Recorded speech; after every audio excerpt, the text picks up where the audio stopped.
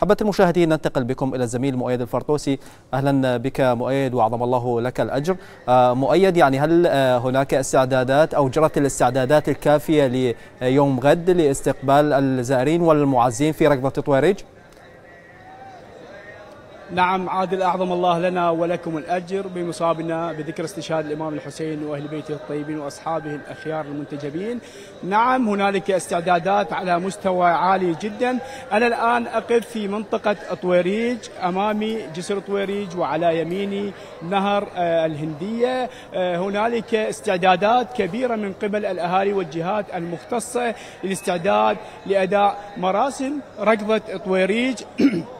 في بادئ الأمر سينطلق الزائرون بعد صلاة العشاءين في ركضة طويريج استعدادا ليوم الغد وهو ذروة الزيارة وأداء شعيرة طويريج بعد قليل وكما أخبرتك عادل عند أو بعد صلاة المغربين سيتوجه الزائرون من مضيف الإمام الحسين المتواجد خلفي والذي لا يبعد أكثر من 100 متر تقريبا.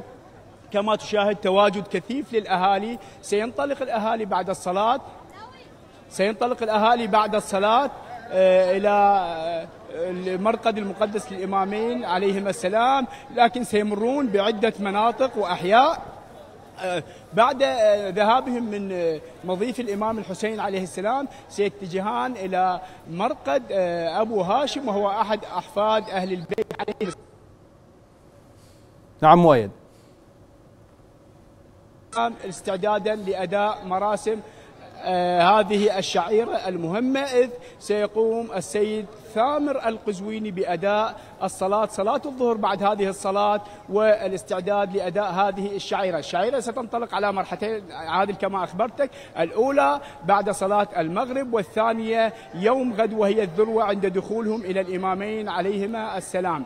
عادل هنالك استعدادات كبيرة. أبدتها العتبتان المقدستان الحسينية والعباسية لاستقبال جموع الزائرين. يوم غد هو اليوم العاشر من محرم الحرام يوم عاشوراء. هنالك استعدادات كبيرة. أبدتها العتبتان المقدستان حيث هيئة كل وسائل التي يحتاجها الزائرون لأداء هذه الشعيرة التي ستكون بعد صلاة الظهر. عادل قد تم فرش الأبواب والمداخل لمرقدي الإمامين عليهم السلام.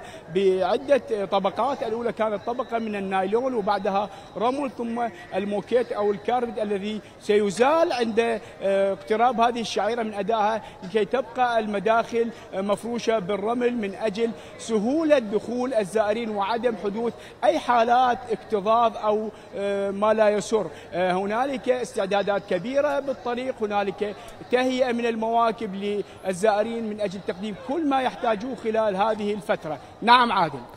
نعم مؤيد. شكرا لهذه الإضاءات والإيضاحات حول ركضة طواريج اليوم.